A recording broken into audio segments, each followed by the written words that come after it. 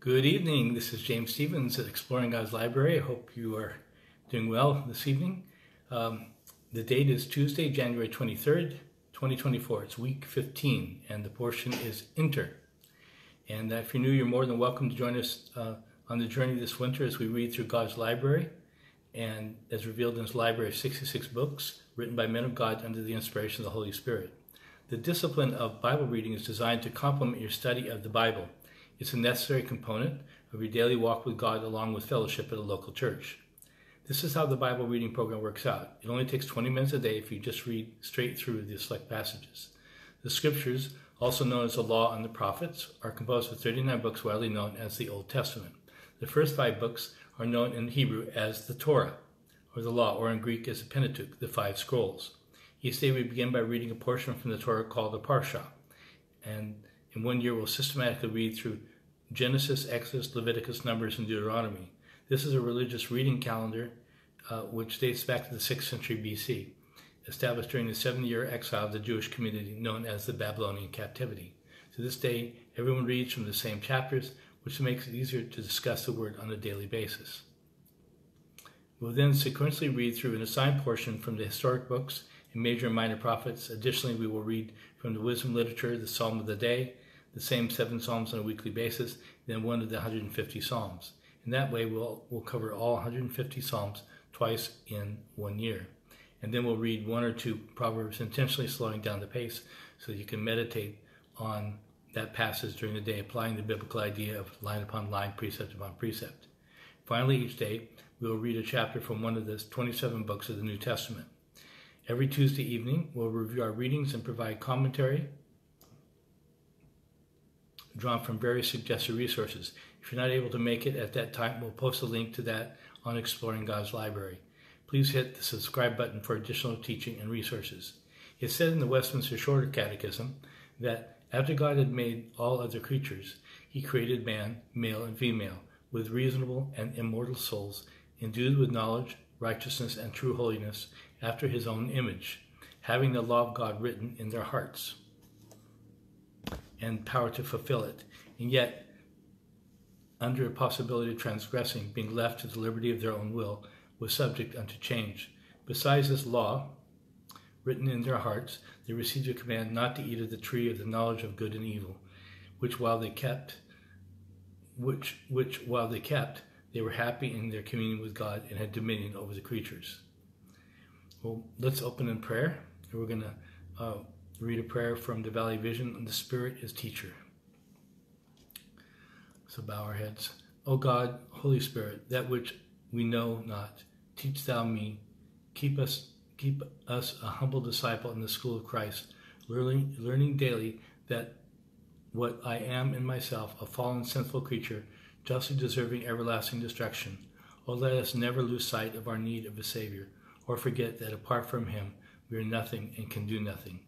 Open our understanding to know the Holy Scriptures.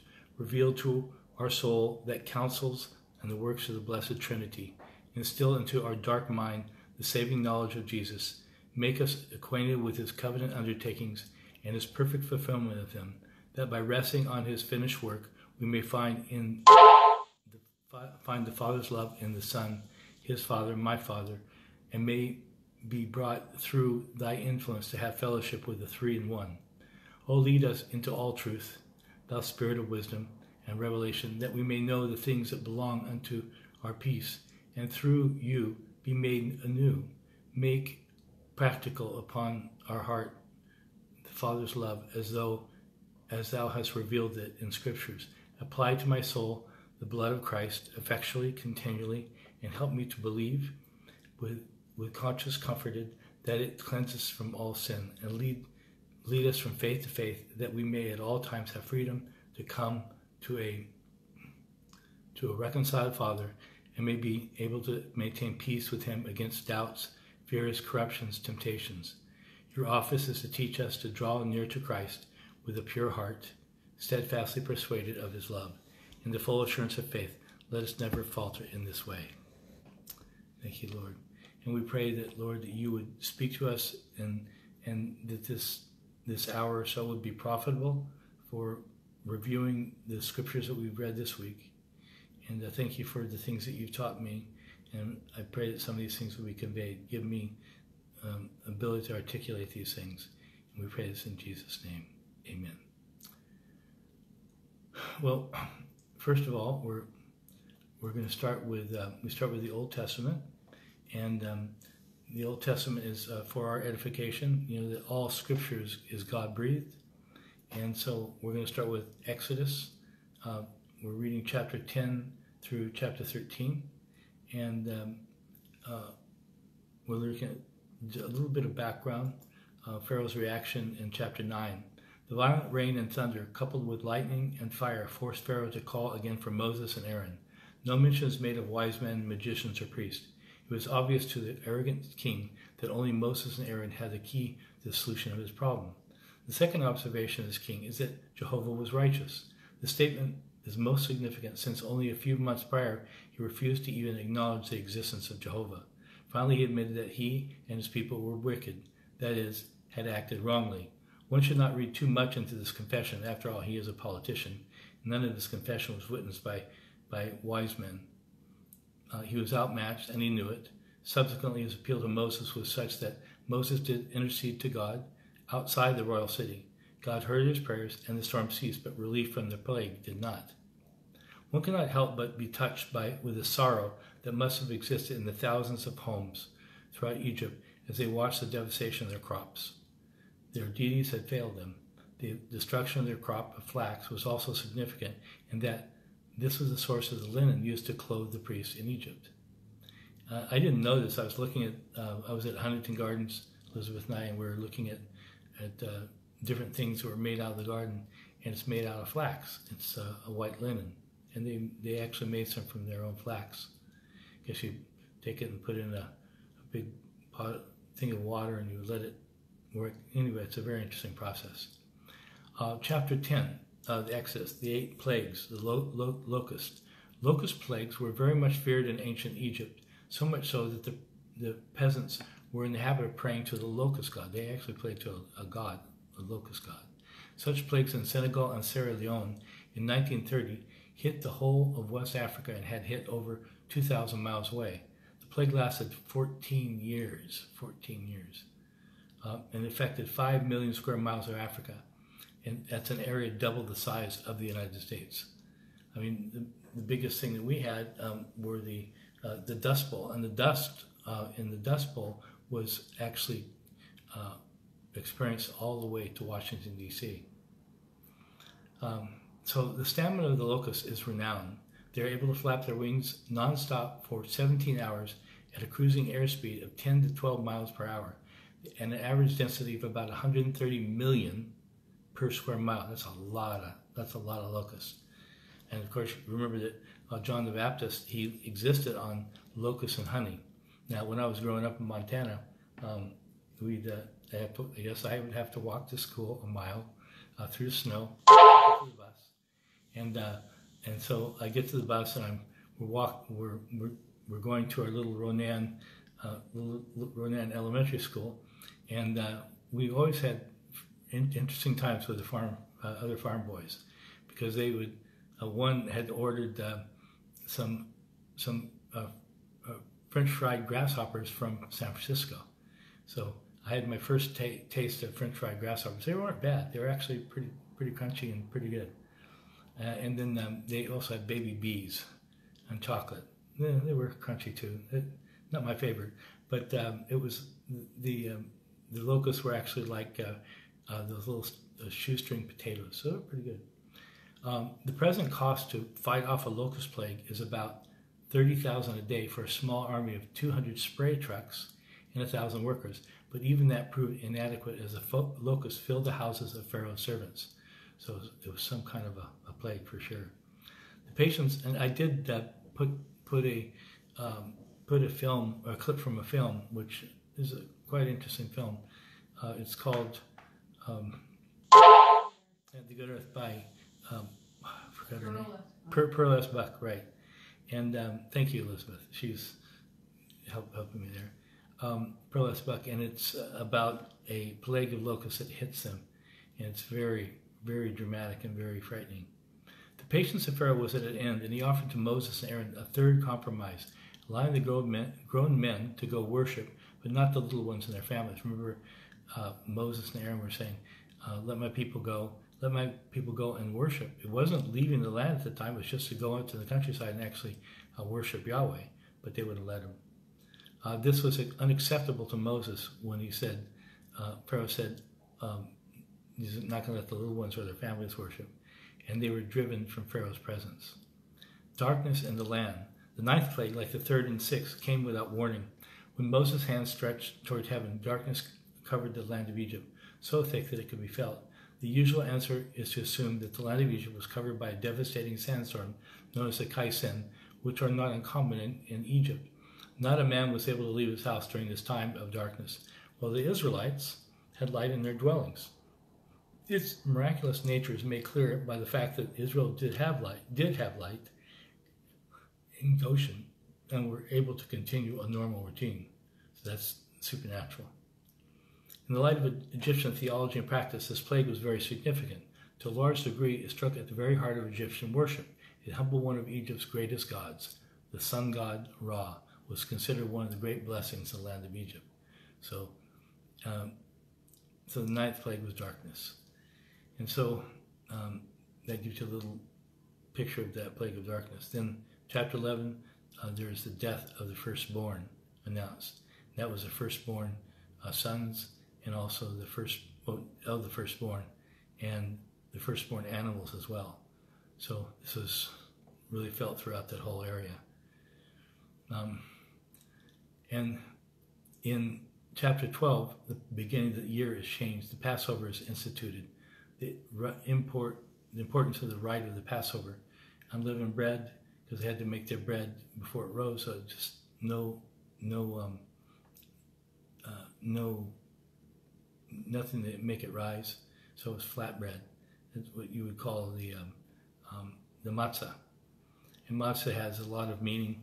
Uh, some people would say the matzah has a meaning of uh, it looks like uh, you know stripes um, and it's pierced.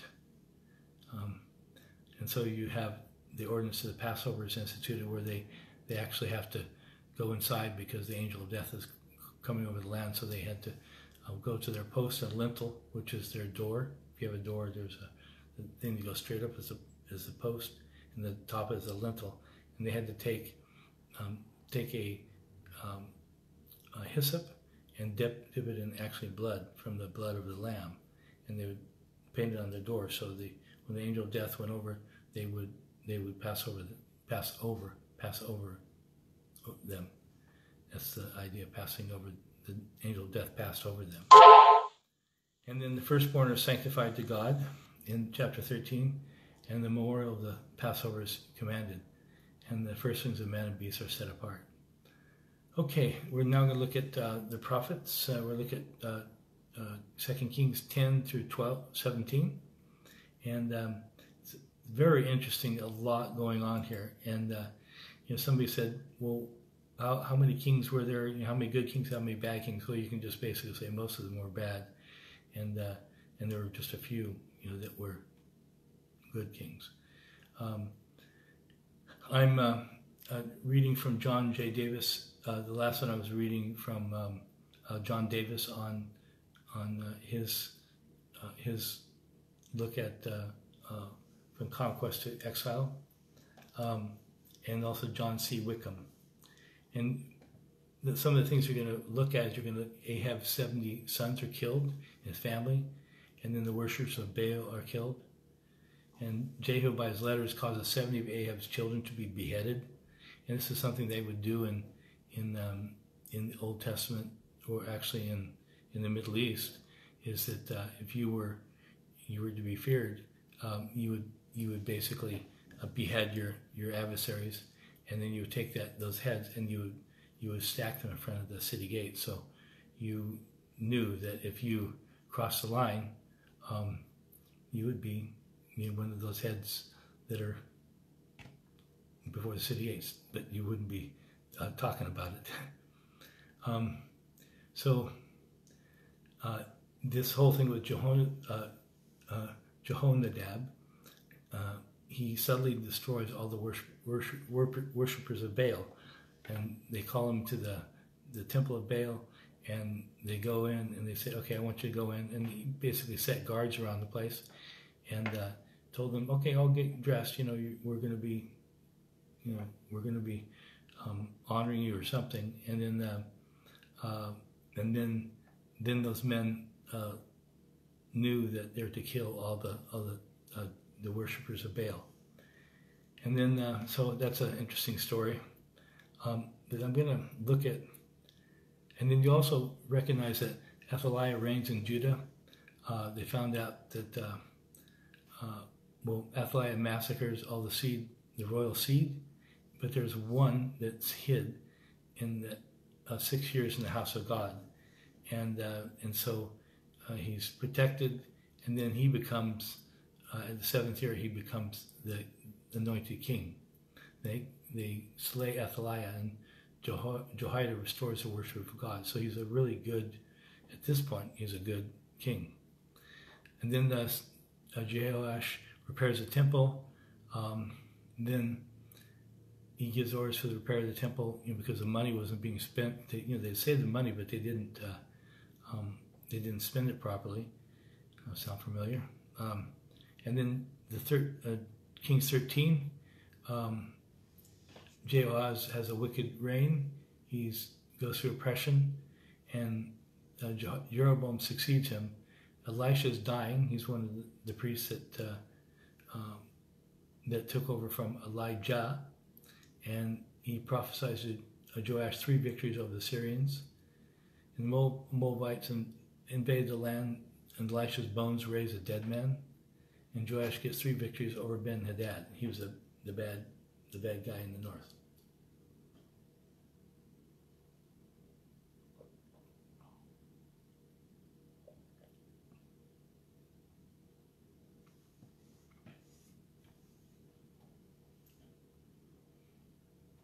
And, and so you have you have these reigns that are going on. Some very short, and there's a Azariah's good reign. He, uh, he he dies as a leper. Jotham succeeds, and then you have um, in you have a lot of movement in the north, and then you have in in Second Kings twelve, you have Ahaz's wicked reign, and then in seventeen, this is where we're getting to. In Second Kings fifteen thirty, it said the 20th year of Jotham, which Calmet thus reconciled. So Isaiah conspired against Pekah, the 20th year of the reign of this prince, which was the 18th of Jotham, king of Judah. Two years after this, as the fourth of Ahaz and the 20th of Jotham, Hosea made himself master of a part of the kingdom, according to 1530. Finally, the 12th year of Ahaz, Hosea had a peaceable possession of the whole kingdom agreeably, and he made it um, in Second Kings 10 or Second Kings 17, uh, being subdued by Shalmaneser, he conspires against him. So king of Egypt, Samaria, for sinning, is led into captivity. The strange nations were translated into Samaria, being plagued with lions, make a mixture of um, made a mixture of religions. And Keil and Delitzsch's commentary on Second Kings is quite interesting. It was a policy of conquering kings of mass deportation the Assyrian resettlement policy. This is something that's not new. Uh, this is something that's been done for ages. Um, it's been done with with um, Native Americans. It's been done in Europe and in the Middle East, and it was you know Syrian pol- resettlement policy. And I'm going to read a little bit about this because I think it's interesting um, that Scripture has a lot of application here. But we're dealing also with these um, strange nations which were plant, transplanted to Samaria being plagued with lions. Okay, who were those people? We'll get to that and why it's important. The practice of resettling population groups was a key constituent of the structural setup of ancient Near Eastern states, including the Assyrian Empire. This policy underpinned the high degree of cultural homogeneity and economic balance that characterized Assyria in the late 8th and 7th century BC despite the vast climatic and geographical differences within the region. You remember you've heard that by the rivers of Babylon, and Joshua Aaron sings it.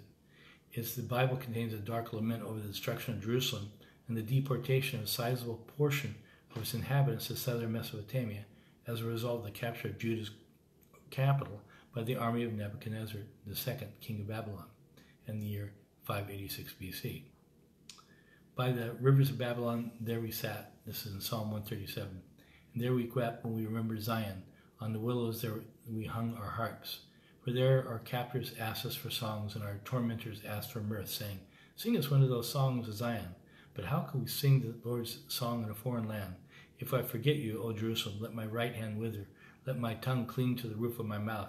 If I do not remember you, if I do not set Jerusalem above my highest joy.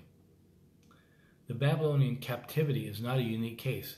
It is one of many instances of the execution of the policy of enforced resettlement by then well documented in the ancient Near East for over two millennia.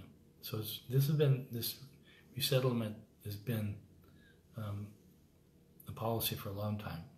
Uh, empires policy. This is how, why empires work. What makes it a special case is that we know about it from the point of view of those who were subjected to it and forced to leave their homes. But as we shall see, the Bible also contains evidence that enforced resettlement could be seen as beneficial to those that were subjected to it.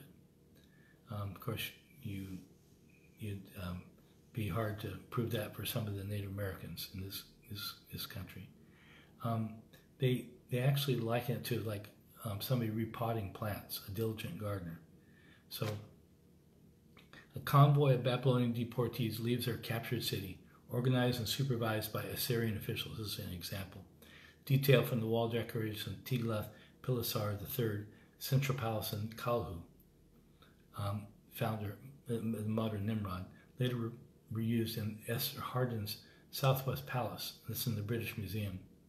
Most Mesopotamian sources offer the perspective of the state which ordered the relocation when relating their military victories and official inscriptions. Rulers from the third millennium BC onwards habitually claimed to integrate defeated enemy armies and the inhabitants of subjugated cities and lands into their own realm. The vocabulary used is either that of violence and pillage, fitting for the context of war, or that of a conscientious gardener, likening people to precious trees that are uprooted and replanted in the best possible circumstances. But how could enforced resettlement be perceived as positive for and by those affected by it? I mean, we have our, we have had in the U.S. have had um, you know, legal immigration, and um, and that you get sorted out, and you have to have something you're bringing um, to the party, so to speak, to make it a stronger country, and had to have language and had to under, have understanding. But when the Assyrian army laid siege to the city of Jerusalem in 701 BC during a campaign against the kingdom of Judah, the delegates of Sennacherib communicated a message to the people of Jerusalem according to the Bible.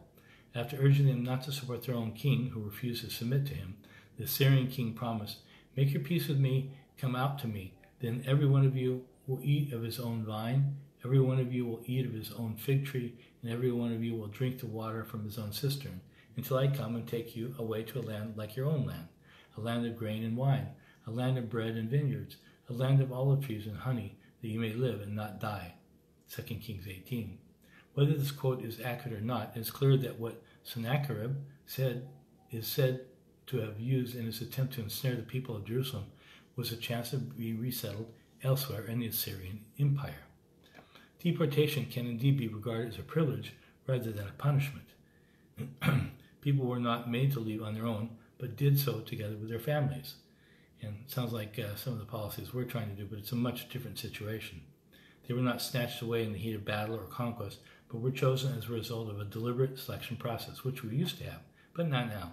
Often in the aftermath of a war, they had very possibly reduced their original home to ruins, as in, as in um, Vietnam or uh, in, in uh, those type of things. And when the Assyrian sources specify who was to be relocated, they named the urban elites, craftsmen, specialists, and scholars.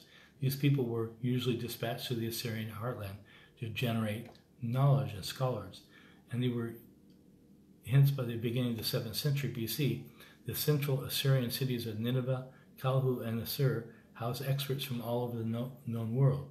Without them, some of the most enduring achievements of the Assyrian kings, such as constructing and furnishing the magnificent palaces and temples or assembling the contents of the fabled library of Assurbanipal would have been impossible. And um, so forced resettlement can refer to very different scenarios. It's probably closest to our modern notion of deportation when we read in an, in an inscription of the Assyrian king Sargon that in 720 BC he pardoned 6,300 guilty Assyrians, had them settle in, in um, a city in Assyria, formerly the capital of a, of a kingdom which had been defeated and integrated into the Assyrian Empire for 10 years, 10 years before. During the tumultuous time, Sargon's ascent to the throne, the Assyrians in question had opposed his rise to power. After the struggle for control was decided in his favor, they had to be removed from the empire's power centers. Deporting them to Hamat achieved this. By rebuilding the ruined but formerly important city, they were meant to repay the mercy of their king, who could have had them executed for disloyalty.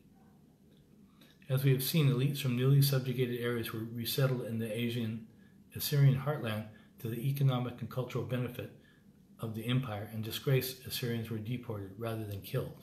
So you put in exile in order to redeem themselves as uh, colonialists in the king's service. For all these people, relocation meant uh, to provide a better future, while at the same time benefiting the empire, and not just economically. Of course, the relocation of these people was also an effective way of minim- minimalizing the risk of rebellions and insurrections against central authority.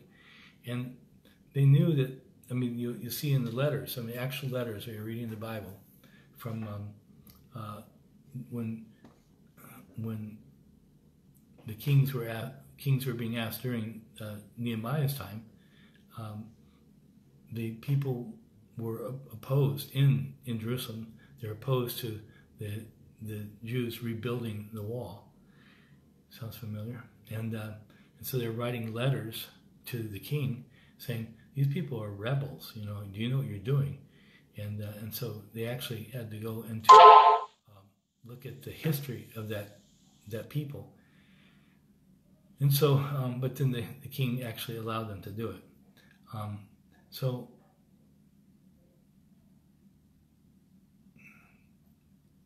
Now, the empire's profits were of paramount importance for the third type of deportation, which affected by far the largest number of people and transformed the Near East most profoundly.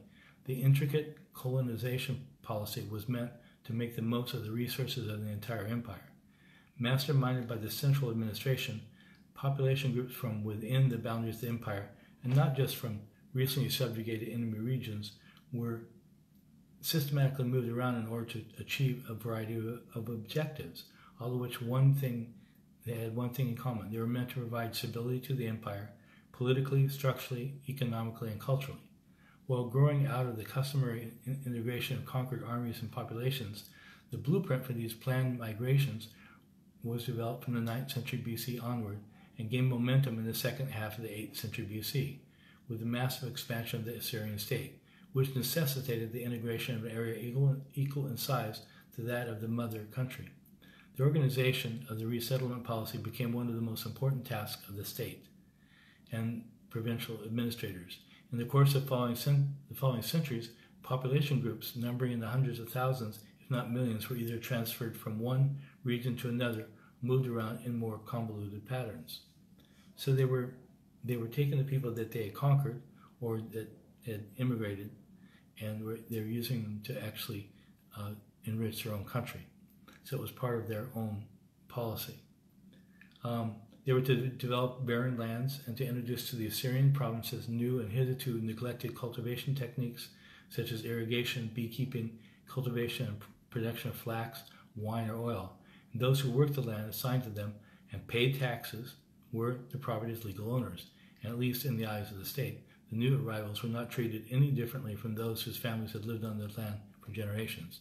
Now, this does pose some problems, and uh, you can see this in the um, the, the U.S.'s uh, mistreatment of Native Americans and breaking breaking over 900 treaties with Native Americans, all in the name of Christ, by the way, um, but not a not a good thing. The intricate colonization policy was meant to make the most of the resources of the entire empire.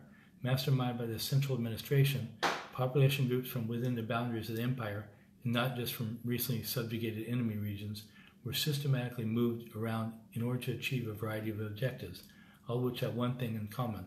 They're meant to provide stability to the empire politically, structurally, economically, and culturally. So this is someone else planning your life for you, a government planning your life that has a lot of problems. And while growing out of the customary integration of conquered armies and populations, the blueprint for these planned migrations was developed from the 9th century onward, gave momentum.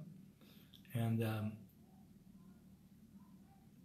so, in keeping with the, frequent, the employed gardening metaphors, with liken the deportees of valuable plants to be transferred to a new nurturing environment. Um, I think it's uh, you need to talk to Native Americans about that. And then also a lot of these uh, these these policies were actually copied by Chinese. How how do we treat our minority groups, our min- minority peoples like the Uyghurs, the Tibetans, etc. We'll do what they did in, in America. So um, not always um, very glorifying to God for sure. Um,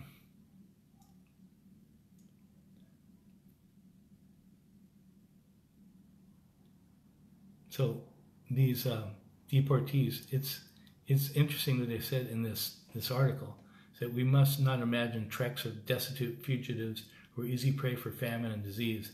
The deportees were meant to travel as comfortably and safely as possible in order to reach their destination in good physical shape, you know, being working. But even America, um, uh, Cesar Chavez, who um, led the, the labor movement in America for farm laborers, giving them you know proper care, etc. Um, he he was very opposed to illegal immigration because it really hurt the people.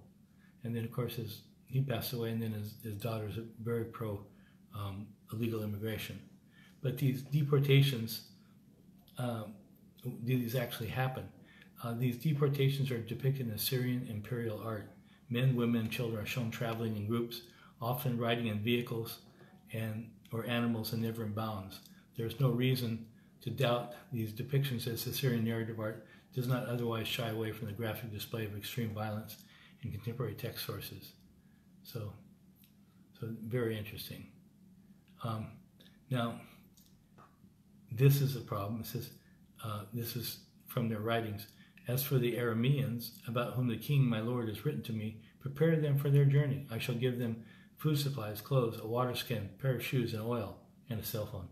Uh, I do not have my donkeys yet, but once they're available, I will dispatch my convoy. So they were they were doing this, and a lot of the the these people are now coming through the. I mean, this is a whole different situation, but it's um, it's the same kind of pattern, except that the cartels are moving people into the U.S. and using them as as uh, as as mules, you know, donkeys. I mean, mules with drugs, etc. Um, the state continued to support the deportees once they had reached their destination. It's clear from another letter of the same author. Isn't it interesting how it's things are just repeating themselves? So you read the Bible and you think, oh, the Bible is not relevant. No, it is. If you study it, it's very relevant because remember, things are being passed on and not always the best pattern. As to the Arameans, about whom the king, my lord, had said, they're to have wives. We found numerous suitable women, but their fathers refused to give them in marriage, uh, claiming, We will not consent unless they can pay the bride price. Let them be paid so the Arameans can get married. So they were having problems with uh, population, um, you know, having the or order brides kind of. And as we've seen, the Assyrian resettlement policy divided existing communities into those who had to stay and those who had to leave, according to the needs of the state. Populations were relocated within the boundaries of the empire, replacing and being replaced by people who were themselves moved. Our last source especially highlights um, the fact that state authorities actively encouraged a mixing of the new neighbors. The ultimate goal of the Assyrian resettlement policy was to create a homogeneous population with a shared culture and common identity, that of the Assyrians. And so, um, depending upon who's in power in America, what, what they're trying to change, the, they're trying to change the uh, the uh, culture. Um, it's not a shared culture, but you have a lot of debates on those things. And so um, now, um, the Syrian kings Shalmaneser and Esar then settled those people they had conquered. The last remnant, this is very interesting, the last remnant of the ten tribes. Not all those who were transplanted through conquest were Hebrews, as their policy was to mix the populations. Sounds like the melting pot policy of the U.S or the Trail of Tears of the Nazi policy of separating Jews from the mainstream population. Evidently, the Jews found themselves mixed among the Nestorians, which were an ancient uh, Christian faith uh, the, uh, from the east in Assyria. According to Josephus, the ten tribes were still in the land of their captivity in the first century. According to Jerome in the fifth, and then in the present day, they are still in the country of the ancient Assyrians. Since the Nestorians, both according to their own statement and according to the testimony of the Jews there, are Ben, ben Israel, um, you know, sons of Israel. And that of the ten tribes are also proved to be Israelites by many of the customs and influences that they have preserved. In the book of Daniel, how many satraps were accountable to Daniel? I mean, um, Darius appointed 120 satraps to rule throughout the kingdom with three administrators over them, one of whom was Daniel. The satraps were made accountable to them so that the king might not suffer loss. And the head of the administration of this province, the satrap, called, what they did is they collected taxes, they're a governor. They were supreme judicial authorities responsible for internal security and raise and maintain an army. Um, Keil and Delitzsch said, uh, in general, the Israelites and Jews who have come into heathen lands from the time of Salmanasar and Nebuchadnezzar onwards have settled there, have become so mixed up with the Jews who were scattered in all quarters of the globe from the time of Alexander the Great, and more especially since the destruction of the Jewish state by the Romans, that the last trace of the old division into tribes have almost entirely disappeared in exile in Babylon. And they didn't cease to be people because they looked forward to return to their fatherland after banishment of 70 years. I mean, they were waiting for that 70 years. Remember Daniel, he was waiting. But after the heathen colonists had been transplanted into the land, with whom the remainder of the Israelites in the land became fused, and so there arose mixed Samaritan people of predominantly heathen character, it was impossible to speak any longer of a people of Ephraim in the land of Israel, one of the, the tribes, right? In the earliest period of their resettlement in the city of Samaria, the new settlers were visited by lions. Well, how, how does that happen? Which may have been multiplied during the time the land was laying waste. Remember, a lot of these places were laying waste and there was nobody you know, taking care of the land. The settlements, the settlers regarded this as a punishment from Jehovah, from the deity of the land, in whom they did not worship. And therefore they asked the king of Assyria for a priest to teach them the right uh, the proper, the worship of the God of the land. Whereupon the king sent them one of the priests who had been carried away, and he took up his abode in Bethel and instructed the people in the worship of Yahweh. The author of our books also looked upon the lions sent by Jehovah as a punishment, according to Leviticus 26. And the new settlers did not, because the settlers did not fear him. But the priest sent by the Assyrian king was, of course, an Israelitish priest of the calves, he was one of those who had been carried away and resettled in Bethel, the chief seat of Jeroboam's um, uh, worship, and he taught the colonists fear or worship after the manner of the land. This explains the divine worship in the land is described. Every separate nation made itself its own gods, and so they were they were uh, setting things up in the high places. They were worshiping calves. They weren't worshiping Jehovah. They you know had had uh, and that was the Samaritans. So, okay, well, that gives you really a big background. Now, how does this how does this apply to today? Does it occur today? I recall attending a ceremony at the Norton Simon Wiesenthal Museum of Tolerance to cover they're awarding the Dalai Lama uh, Peace Prize, and the Dalai Lama was accepting this, and uh, he said, I'm encouraged by the support of your community, which has been had many difficulties and sufferings.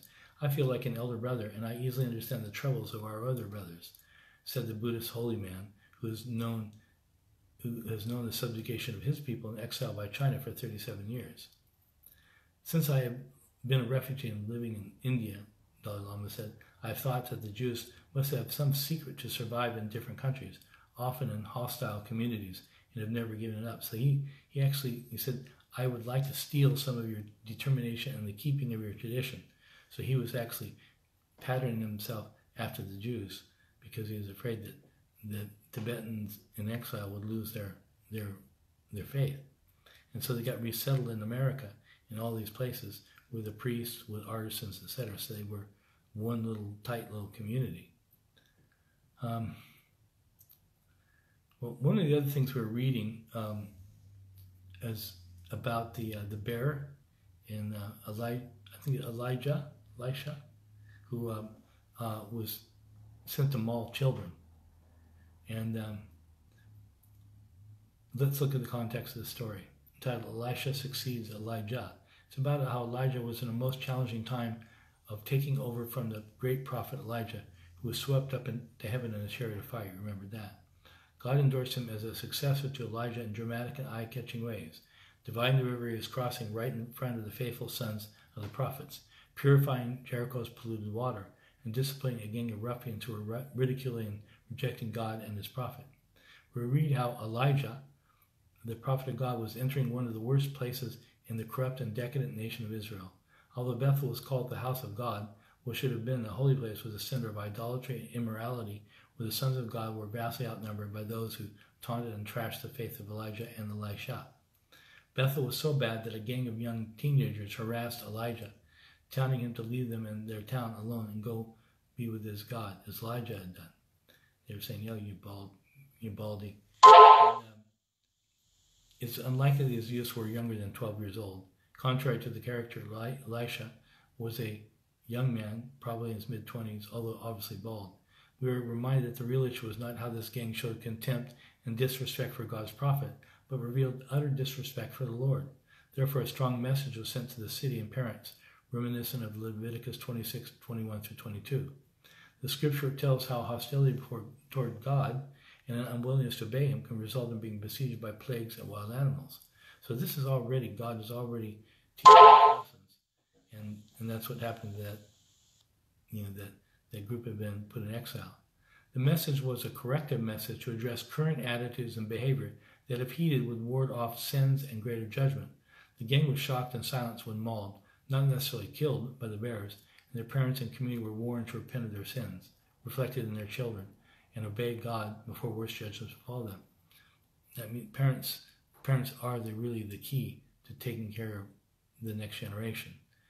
Walter Kaiser writes how the eventual fall of Israel would have been avoided had the people repented after the bear attack. They did not.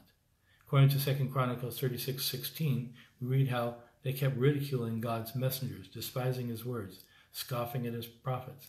As Kaiser wisely states, the bear attack shows God trying to repeatedly to bring his people back to himself through smaller judgments, so they could avoid a worse, uh, worse full, uh, full force judgment.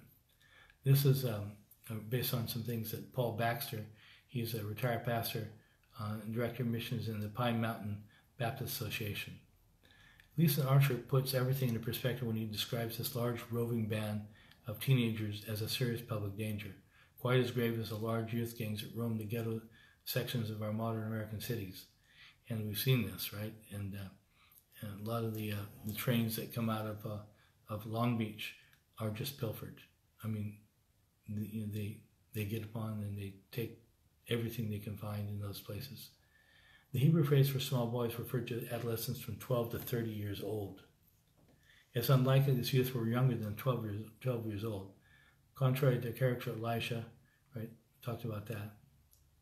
Um, okay. Moving right along here. Um, I've been thinking and praying about someone's somewhat sarcastic remark to me a while ago when I um, when I posted about the bear situation in Sierra Madre and the 120 122 break-ins. They had 122 break-ins, which is three times the amount of break-ins, with these bears would come in with their cubs and they actually break into the house. Know this sounds really like you know like a, a thief somewhere, where they're little thieves, and they break into the house. And and uh, we've actually talked to people. I mean, that have had this happen. With one guy in the canyon had had um, um, they had their place broken into they actually leave their back door open now so they can leave, but uh, some break in and uh, they bring their own cubs. So they're training their cubs to do this. So it's generation, generationally uh, passed on. It's happening in uh, Lake Tahoe as well. Um, some some of these bears have broken into 60 places and have um, uh, have been training their three cubs. So uh, I had Someone made a sarcastic remark to me in the on the blog says, "Why don't you pray them away?" It started me thinking about the situation more deeply. Rather than taking it as an offense, I took the critique as something to consider. I've read many of the posts and comments, followed the episodes with, with delight, sometimes terror, heard other stories on the street, met and talked with Mackenzie and Jessica, and who um, actually work for the uh, Fish and Game, watched the videos and prayed and done research. Some of the following quotes I have gleaned, which made sense to me. Forgive me for not giving credit to all those quotes, um, to whom credit is due.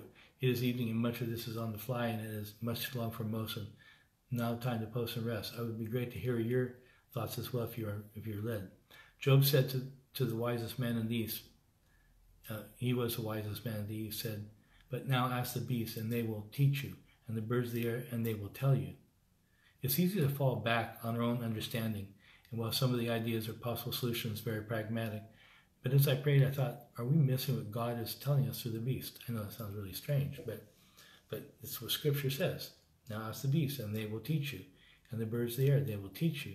I mean, um, we were walking out the street, and we actually saw the bird, the, the bear cages, because this one couple had uh, had a bear that came in their front door and was, you know, in uh, eating in the kitchen. I mean, it's it's uh, it's kind of a reversal of the the uh, um, you know the Goldilocks and three three bears. You know, I mean they're they're just looking everywhere. Um, but the wise men, for, for he sees the wise men die, the fool and the senseless person perish, leave their wealth to others. The inner thought is that their houses will last forever, their dwelling places to all generations. They call their lands after their own names. Nevertheless, man, though in honor, does not remain.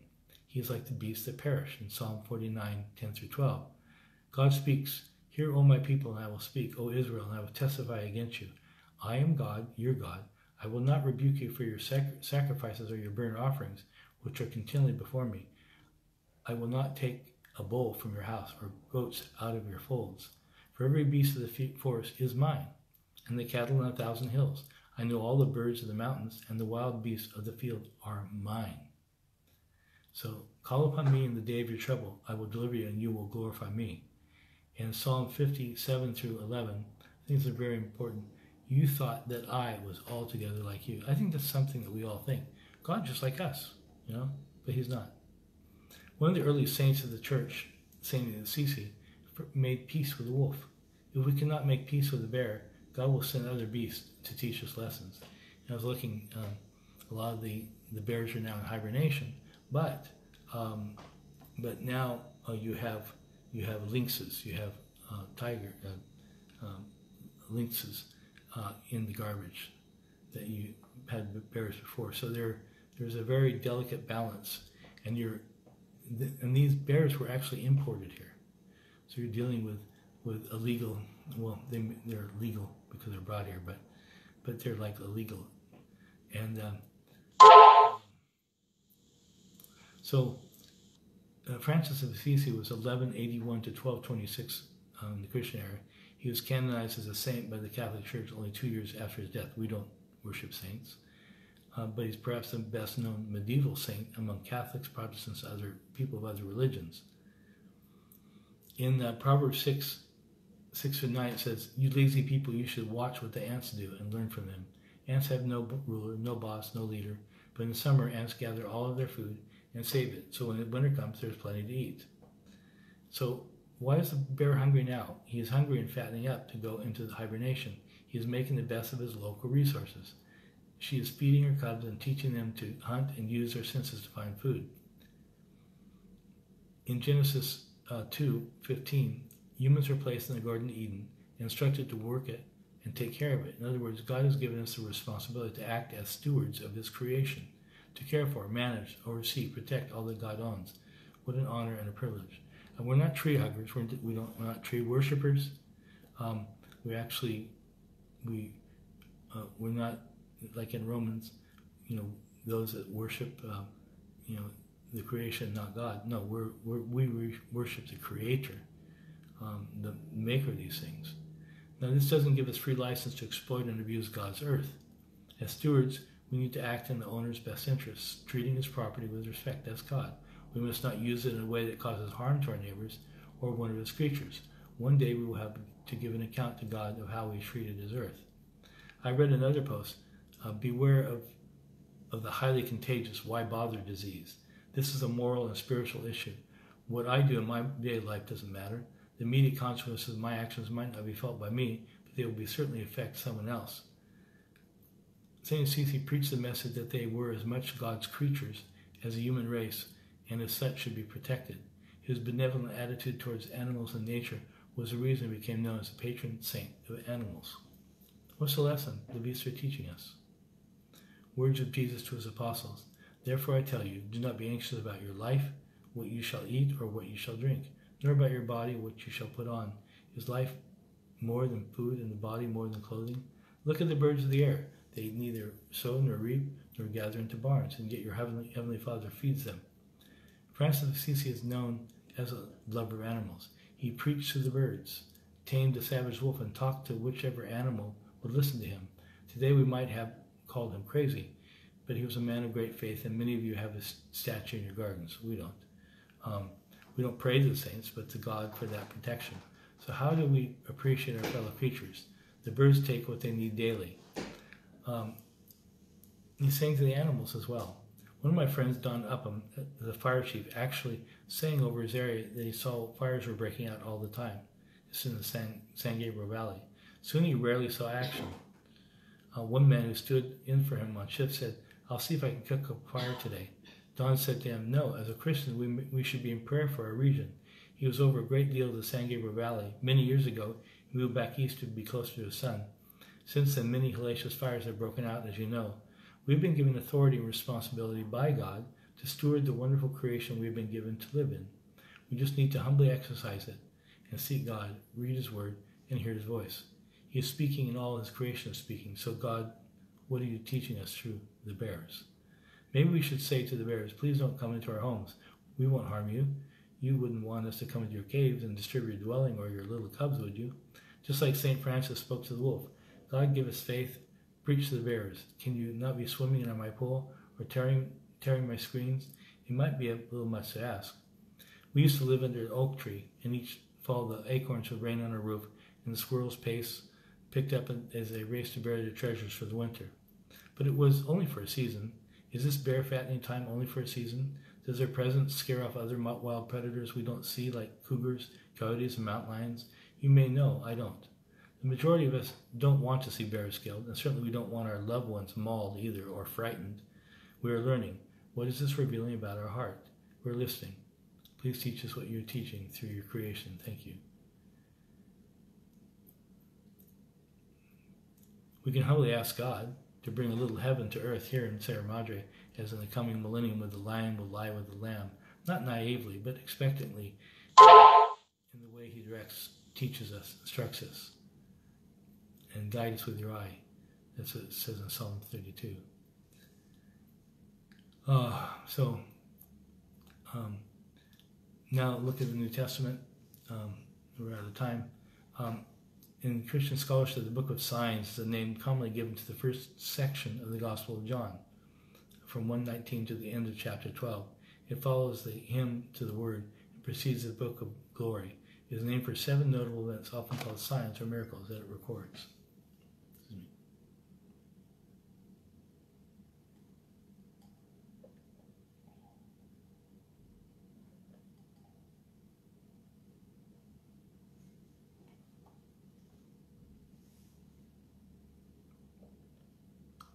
First of the signs was changing the water into wine in Cana and healing the official's son in Capernaum, healing the paralytic, feeding the 5,000, Jesus walking in water,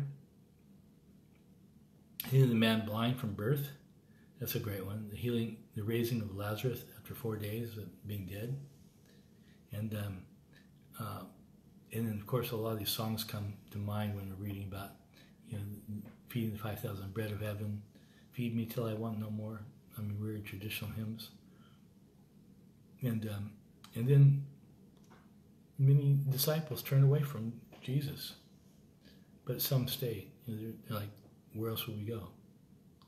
And Jesus' brothers disbelieved. They didn't believe until they could see, you know, he rose from the dead.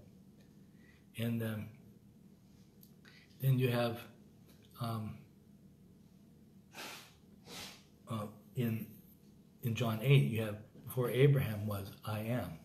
Then the then the Jews answered and said to him, Do we not rightly say that you are a Samaritan, and have a demon? Jesus answered, I do not have a demon, but I honor my Father, and you dishonor me. And I do not seek my own glory. There is one who seeks and judges. Most assuredly, I say, if anyone keeps my word, he shall never see death. Then the Jews said to him, Now we know that you have a demon. Abraham is dead, and the prophets, and you say, If anyone keeps my word, he shall never taste death. Are you greater than our father Abraham, who is dead, and the prophets are dead? Why do you make yourself, who do you make yourself out to be? Jesus answered, If I honor myself, my honor is nothing. It is my Father who honors me, of whom you say that he is your God. You have not known him, but I know him. And if I say I do not know him, I shall be a liar like you. But I do know him and keep his word. Your, um, who else? Who else speaks like this with such authority? Your father Abraham rejoiced to see my day, and he saw it and was glad. Then the Jews said to him, You're not yet fifty years old, and have you seen Abraham? Jesus said to them, Most assuredly I say to you, before Abraham was, I am. And of course, what was, who, who did, uh, how did God identify himself uh, on Mount Sinai? He said, I am. Because he was asking, Moses said, Well, if I go to, go to, you tell the, the Hebrews that, you know, that I've been sent, how do I respond? Just tell them, I am sent you. So they took up stones to throw at him, but this is the Pharisees. But Jesus hid himself and went out of the temple, going through the midst of them. And I think this is really important, this, this area of the, um, you know, when you're looking at the uh, John chapter 9, the man that was born blind was restored to sight. He was brought to the Pharisees. That's such a fascinating story. I mean, I just love reading it. Um, because this really counters a lot of our our kind of pluralistic ideas, you know, because we're uh, the, the American Christian, many of them, including myself, before I came to Christ, um, uh, are confused about these things. I mean, a lot of people still believe in reincarnation that are they're Christians, and this says that no, we're not talking about reincarnation. Who? Why is this man born? Why is he blind from birth? I said, um, Rabbi, who sinned, this man or his parents, that he was born blind? Okay, there's a very specific issue here. Well, um, he, Jesus answered, Neither this man nor his parents sinned, but that the works of God should be revealed in him. This is a work that glorifies God. I must work the works of him who sent me while it is day. The night is coming when no one can work. As long as I am in the world, I am the light of the world. And so, so this man is healed and he's been blind from birth. So it's not because of his karma, you know, that, well, he did bad things. It's not because his parents did something bad. It's because it was for the glory of God. So it's very, very uh, instructive. Um, and then, of course, um, I, I'm kind of running out of time, so I'm going to have to move on here. But um,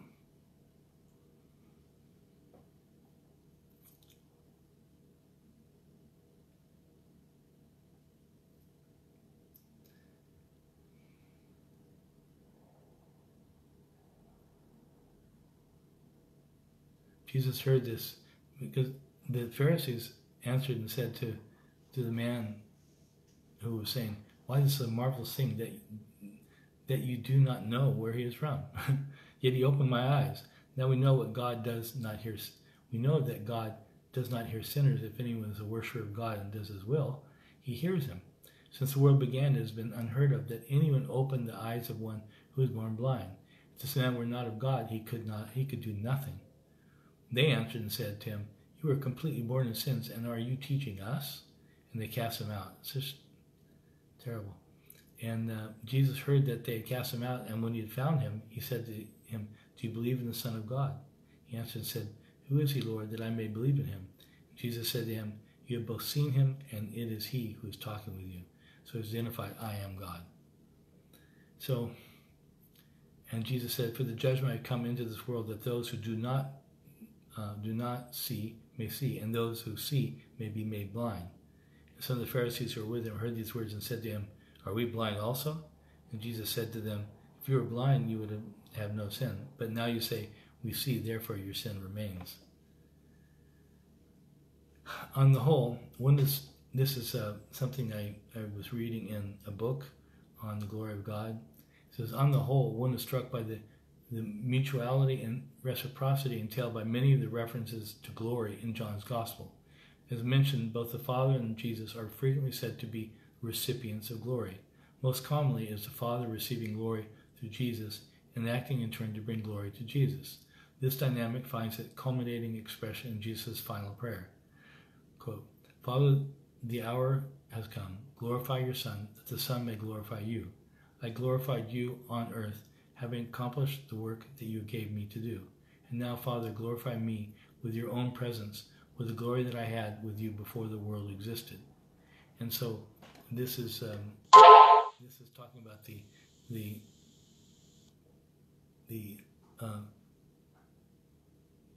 that Jesus has always been. It's not like oh he just was born and uh, no, he's he's he had he had the presence with the glory that he had before the world existed. Jesus spoke these words, lifted up his eyes to heaven, and said, "Father, the hour has come, and so glorify me together with yourself in the glory which I had with you before the world was." So it's talking about his you know the glory of God. It's um, and it's important. You know, these are little things that are very important because um, there are groups, not to get into depth, it, it's just touching on it. There are people that say, "Oh, God didn't become God until he was, he was, um, or Jesus, Jesus was born and then he became." These are like monarchical modalists. So it's a, it's a, it's a something that people have fallen into. I've talked to them, and I think they're also in, involved in oneness Pentecost, this Pentecostalism and also in um, the Mormons, etc. And that you know, it's very strange uh, view of God. Well, that just gives you a little bit. Um, um, we have some this week uh, is is um, uh, the marker of the week. We're coming into what's called Tish B'av in the Jewish calendar, which is the New Year of the trees, and um, and so this is that kind of a Jewish Arbor Day but it's uh, is giving honor to trees. And what are the three three trees mentioned in the Bible? Tree number one, tree of the knowledge of good and evil in the garden, the tree of death, and number two, the tree on Mount Cal- Calvary, the tree of sacrifice, and number three is the tree of life. This tree can be found in Revelation 22, which describes the New Jerusalem or heaven. In Psalm 92, speaking of trees, man is compared to trees. The righteous shall flourish like a palm tree. He shall grow like a cedar in Lebanon.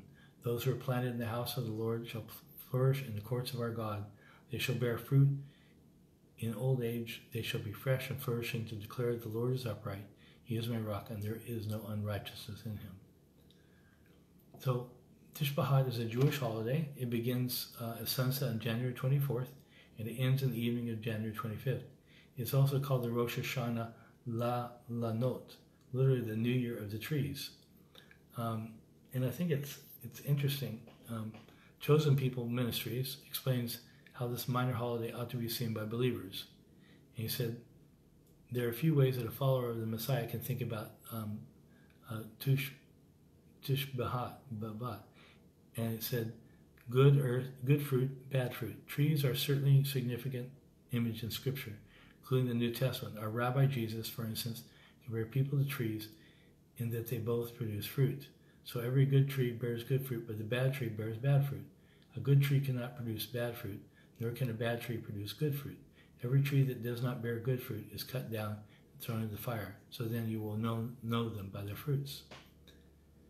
The Tish B'Av can be a call to examine ourselves. What kind of fruit are we bearing? Our fruit can take the form of words or actions. It's not a, it's not a like a, you know, um, Passover. Nothing, nothing like an official holiday. It's kind of like a, a minor holiday, but it's it's giving honor to honor you know to the things that feed us from God. We don't honor the trees; we honor God, who's who created these things. Um, and so Tish is, can be a call to examine ourselves. What kind of fruit are we bearing? Our fruit can take the form of words or actions. They're external signs reveal the state of our hearts, whether good or bad. Constantly spending money on frivolous items might be an indicator that one struggles with the love of money. Hebrew 13:5. And this is something that uh, Johnny Appleseed. This is really great, by the way. Um, there's a book um, which I recommend all the like homeschools. I think would really gain. It's called Johnny Appleseed. It's a sower series, and it's so interesting. I mean, I've seen these uh, you know, cartoons on Johnny Appleseed, but it doesn't really give honor to the fact that he was a Christian and that uh, he he uh, basically was not just sowing the seeds of, of apples throughout this country, but he's sowing the seeds of God's word. And so everywhere he went. But his stories are just magnificent. And uh, I mean, he realized that the earth is the Lord's. And, and one of the things that, that, um, that he had a problem with is, is that, well, I really want land. And um, he was feeling humbled by God. He got bit by a rattlesnake and uh, and he had to actually cut out the rattlesnake poison out of his leg, and then he went into like a you know into a kind of a, a dream state because he was dying, but he actually lives, and um, and he's afraid that he was insulting God, that God gave him everything, and so now he's oh I've got to have land. He said, am I being you know, and, and by the way, I mean this guy he traveled throughout the U.S. He he uh, traveled barefoot. He had a pot on his head. It's true, and um, and so and he took a lot of seed with him, and um, and so but but by the end of his life he had 640 acres, um, because he was taking land that nobody wanted, and he plant uh, plant trees there and he had orchards and he had uh, nurseries etc. And so, I mean God, God used the man in, in marvelous ways and his stories about um, about his uh, humility. I mean, he he had a, a, slave, and this is from my recall from long long ago. He had a slave that knocked on his door, and he was a runaway slave, and you can't have you know runaway slaves. But he thought about scripture, and it's like you know I can't turn these slaves, you know slaves slaves in, and so he watched them and and uh, um, you know and took care of the man. A really marvelous story. Um, so the earth is the Lord's and all that contains, the world and those who dwell within it. The fact should give us a humble mindset. The earth's resources do not ultimately belong to God. God made them for humans to use, but not to exploit. and so we have to make peace with some of these issues. And, um, you know, how do we take care of these trees? And, you know, God for his provision. And um, we're thinking about it'd be a great day to you know to plant a tree, a fruit tree, and uh, I know that um, the carob trees that that were planted years ago at uh, William Carey International University by the Pasadena Nazarene, they were were planted because they take hundred years to grow, that bear fruit. Many of them got cut down, which is very sad. But um, there was a young man said, "Grandpa, why are you planting this carob tree?" And he said, he said, he, he said, you're never going to eat this carob. It takes a hundred years to grow. He said, but you will. So he took care of the next generation. So I think it's a really beautiful. Um, okay, well, um, so celebrating New Year for trees um, can be encouraging. So we've talked about uh, John Chapman and um, also uh, resource of the week Bible Bible Gardens been reading about Bible gardens. Um, they have some amazing gardens in, in Israel. They also had some in uh, in Virginia, and also just locally uh, at the the Arboretum. They used to teach. Uh, they used to have a tour of Bible plants, and um, our friend uh, we call, call, him. He calls himself Arboretum Al. Uh, they can give a, a tour over there. So I think sometime that might be fun.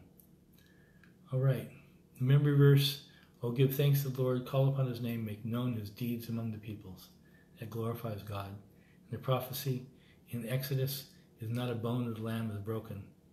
And um, and we know that that um, uh, that when he was on the cross, um, his legs weren't broken. They usually break their legs at a certain time uh, to to hasten their death because they wanted to bury the bodies uh, before uh, the sun went down, and uh, and the the men that were in charge of doing that looked at him and said he's already dead. That's why they pierced him.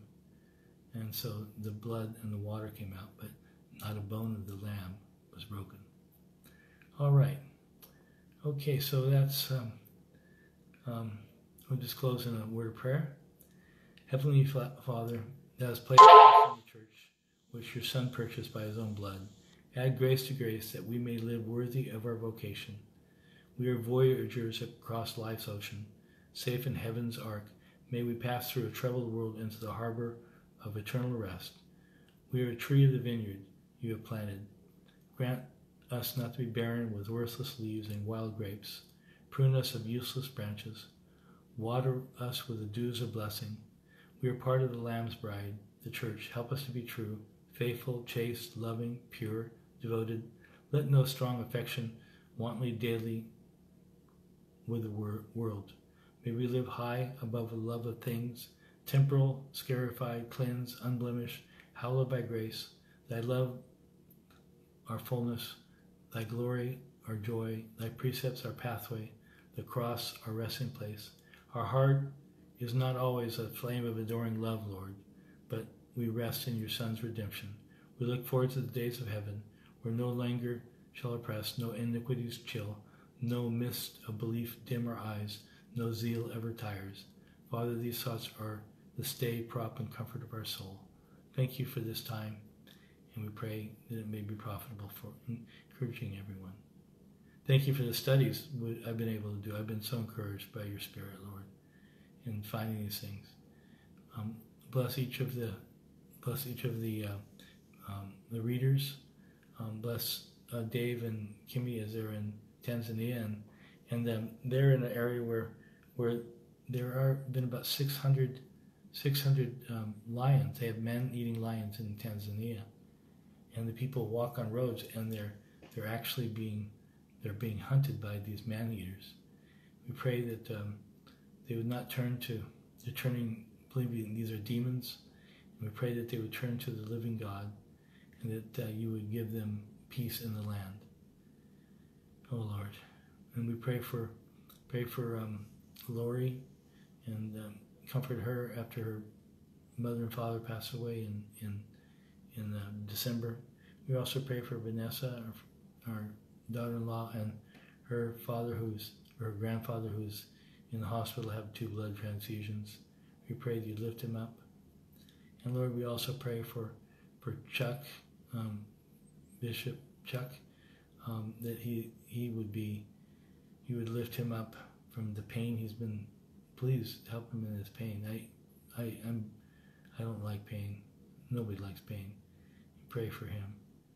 He needs needs that help, Lord, and not drugs, but but your your hand, your hand of blessing, Lord.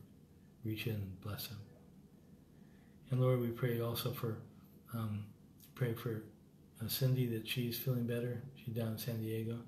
Pray for all the, the terrible uh, weather they've been having um, along the coast and all the flooding of these channels. Oh Lord, we pray for pray for local people in this area. Bless them and keep them. In Jesus' name, amen. Have a good evening. Have a great week. Thank you for joining us.